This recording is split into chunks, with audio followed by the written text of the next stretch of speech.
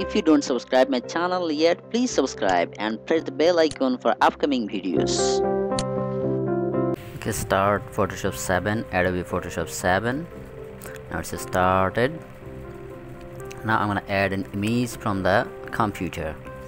Uh, this is the image. Uh, I just drag and drop it to the Photoshop. Now I will crop this image.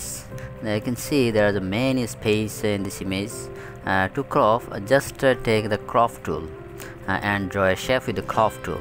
Reset the shape by drag and drop in any side left bottom or top right. You can resize the shape by drag and drop with pressing on ctrl plus alt together. Then if you resize in one side it will automatically resize uh, another side. If you press ctrl plus alt together. You can see Mm, how to resize uh, how to resize the crop and how to crop uh, how to use crop tool uh, using photoshop 7 okay uh, you can rotate this uh, shape uh, you can rotate partially or fully by just to drag in the corner. Okay. It's the symbol. Now I just uh, resize this image uh, uh, and you can move this crop uh, crop space uh,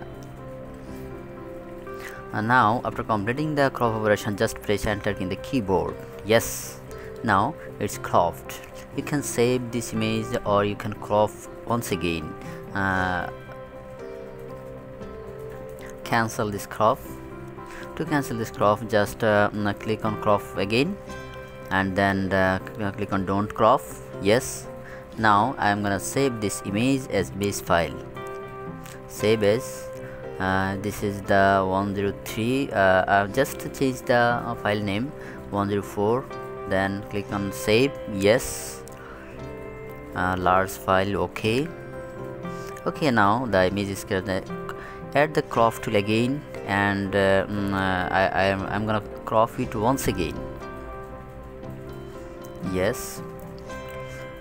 Now I will um, the other side. I will take only pace.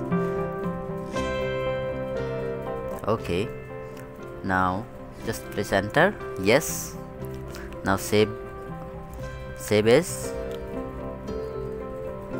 Uh, rename this file name. File name is 105 jpg okay.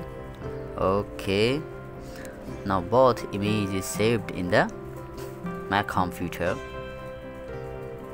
okay now let's check. This is the main image. And now next image this is the next image what I cropped and this is the next after next what I cropped so I think you can understand how to use crop in Photoshop 7